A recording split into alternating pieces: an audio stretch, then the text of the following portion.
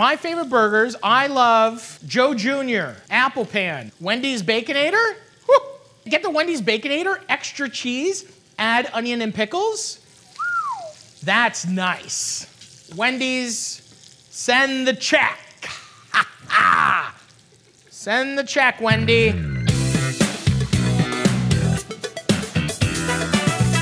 The very first thing I think I ever did with Munchies, I showed the world how to make a cheeseburger. Edit back to that first video right now.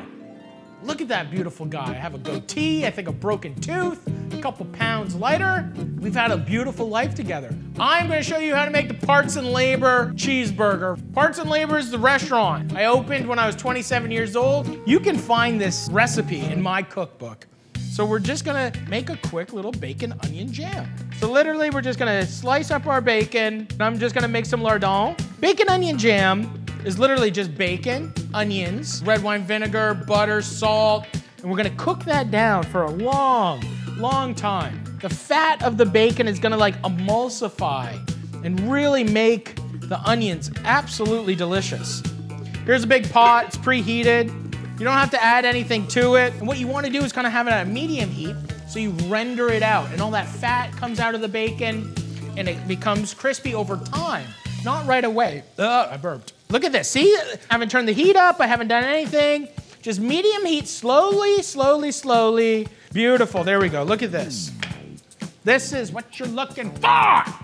We're gonna throw in a half a pound of butter. This is a lot, because this you need this amount of fat. You're like, I don't know what he's doing. He's throwing in half a pound of butter in with just a pile of bacon and bacon fat. Yeah. so we're just gonna add all those onions. Oh, it's so good. So that's about four pounds of onions. So that's like eight onions worth. Everyone's so literal with recipes. Once you make a recipe once or twice, you'll kind of see that maybe some things aren't for you. If you want to dice your onion for this, dice your onion for this. If you want to leave your onions whole with the skins on, fucking do it. I'm just trying to give you like the gateway. I'm giving you that little, you know, little, mm, here's a little tab of acid. Lick on that for a while, you know? Open your mind. Now we've got all the onions are nice and coated. And eventually, after hours of cooking, literally hours of cooking, all these onions are gonna be super, super caramelized. So we're just gonna power through and we're gonna make some cheeseburgers, okay? Yeah! Now, this is just a big old greasy ball of ground beef. I think the perfect patty size for a cheeseburger, six ounces. I don't have a, you know, a scale here, so we're gonna eyeball it. So like a good palm. We're just gonna pat it around. Just use your fingers and you mold out kind of like a perfect little patty. I'm just gonna make two. I think two's more than enough. You don't wanna season anything. You don't wanna put breadcrumbs or Worcestershire sauce or anything like that. You just wanna have like like treat your burgers like steak.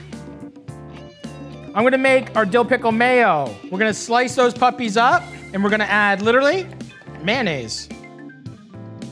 This is almost like a, like a mayo relish. I got about a cup of diced dill pickle. We're gonna add a cup of mayo of your, your preference. I'm a Hellmann's guy. Once again, Hellmann's, send the check. We got a cast iron pan. We wanna get hot, but not super hot. This is like a medium high. So we're just gonna season it with salt and pepper. Our, our cast iron pan is warm. You can see that it's not smoking, but, and we're just gonna push it down a little bit to get that contact. So our patties are going, our bacon onion jam cooking to the side. So once you get this to caramelization, add a cup of red wine vinegar. Mmm. Give it a stir. You can just keep cooking that. And that vinegar really makes this bacon onion jam something else. Let me show you something. This is a switch out, okay? Let's be real. Let's be real. So this is what it's gonna look like. And this takes hours and hours to do. So we're gonna flip the burgers. Look at this. Oh, man, see that? Nice and crispy. Ah! I'm in love. So we have beautiful little potato buns, brioche buns, any kind, just get a good bun. So we're just gonna butter our buns, cause you always butter your buns. And you want it to be like just like a grilled cheese almost. So at this moment, these burgers are still like medium rare. I'm just gonna put on some bacon onion jam on top of each one. A good pile. Boom, boom, boom, boom, boom. And then Monterey Jack cheese. We're just gonna put a few slices on there.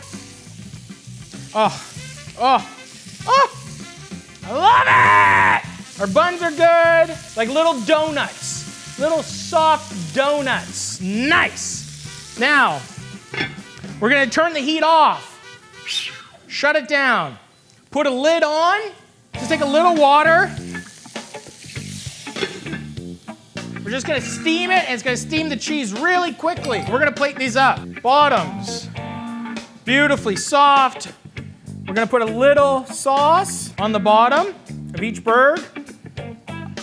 Then a little iceberg lettuce, a little crunch. Iceberg lettuce is the greatest lettuce of all time. Look at that. Woo! Look at that guy. That's a good guy. And now we're gonna put that on top. Put that guy on top. And now we're gonna just put a big old plop. Mmm. Dill pickle mayo on top of this guy. Look at this. Jesus Murphy. These burgers could talk, how many chefs hated making these? You'd have to work Burger Station for one month. But if you could make these burgers at Parts and Labor, you'd have the respect of the crew. These are messy. These are kind of messy burgers. Look at that. I'm gonna try a bite right now.